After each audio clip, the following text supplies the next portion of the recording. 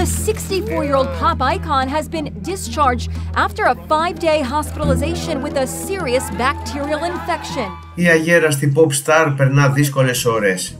Η Μαντόνα παλεύει στη μεθ με μια βακτηριακή λίμωξη. Οι γιατροί ανησυχούν επειδή η ανάρρωσή της δεν εξελίσσεται όπως αναμενόταν.